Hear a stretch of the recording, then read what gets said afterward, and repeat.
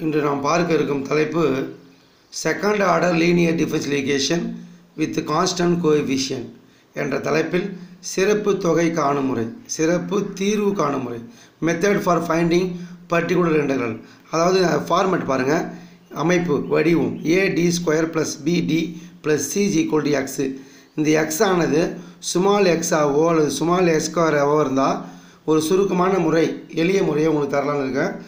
அது வந்து அந்த முறை வந்து மிகவும் பின்தங்கிய அதாவது படிப்பு மேக்ஸே வராத பிள்ளைங்களுக்காக இதை நான் சொல்லித்தர போகிறேன் ஆனால் நன்றாக படிக்கக்கூடிய மாணவர்கள் இரநூறுக்கு இரநூறு எடுப்பு நினைக்கிற மாணவர்கள் புத்தகத்தில் உள்ள மெத்தேடு நீங்கள் பயன்படுத்துறது மிக சிறந்தது கருதி இந்த ஷார்ட்கட் மெத்தேடை உங்களுக்கு தரேன். இந்த கேள்வியை பாருங்கள் பிஐஎஃப் அதாவது சிறப்பு தொகை மட்டும் கண்டுபிடிக்கிறத கற்றுறேன் சிஎஃப் வழக்கமாக நீங்கள் கண்டுபிடிச்சிடணும். D square minus three D plus ரெண்டு அதாவது two Y's equal to X இதுதான் கேள்வி. இந்த கேள்வி பார்த்தோன்னா ஈக்குவல் டு எக்ஸ் வருது. இந்த ஈக்குவல் டு எக்ஸ் வரும்போது இவற்றுடைய சிறப்பு தொகை பர்டிகுலர் இன்டெக்ரல் எப்படி எளிமையாக கண்டுபிடிக்கலாம்?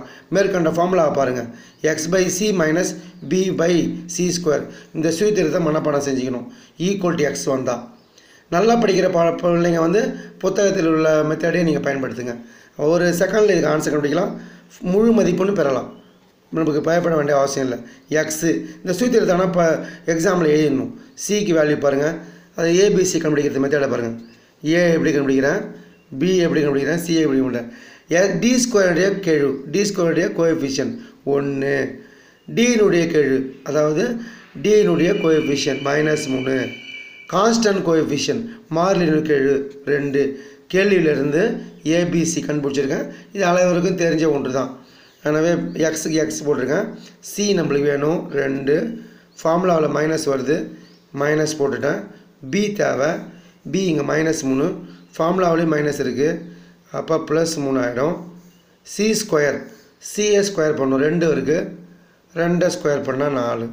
இது மேலே எத்தனை சம்மு கொடுத்தாலும் நீங்கள் ஈஸியாக வெளியே வைக்கலாம் பர்டிகுலர் இன்டெக்ரல் அதாவது சிறப்பு தீர்வு சிறப்பு தொகை வந்து கண்டுபிடிக்கிறதுக்கு ஈக்குவல்ட்டில் ஒரு ஈக்குவேஷனில் ஈக்குவல்ட்டில் எக்ஸ் வந்ததுன்னா அதுக்கான சூத்திரம் கொடுத்துருக்குறேன். நன்றாக கவனிங்க படிங்க மனப்பாடம் பண்ணுங்கள் X by C minus B by C square apply பண்ணி இந்த விடையை எளிமையாக வர வைக்கலாம் வித்தின் ஏ செகண்ட்லே ஒரு நொடியில் உங்களால் வர வைக்க முடியும். அதற்கு நீங்கள் செய்ய வேண்டியது சூத்திரமும் ஏ மதிப்பு பி மதிப்பு சி மதிப்பு கேள்வியிலேருந்து கண்டுபிடிக்கணும்.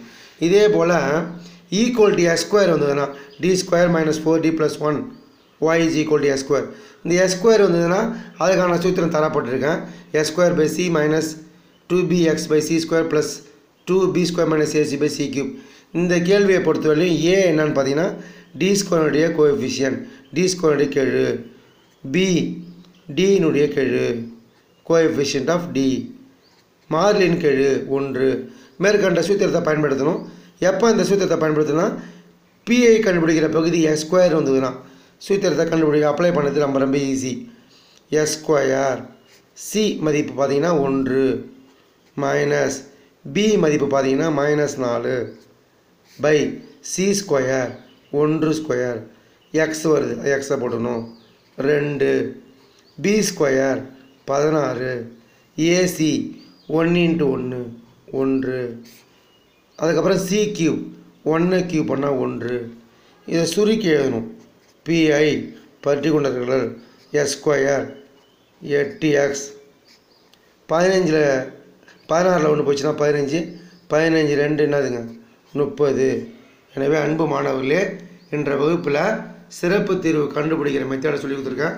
அந்த மெத்தேடில் எக்ஸ் வந்தால் ஒரு சூத்திரமும் பிஐ கண்டுபிடிக்கிறது. எஸ் ஸ்கொயர் வந்தால் ஒரு சூத்திரமும் கொடுத்துருக்கேன்.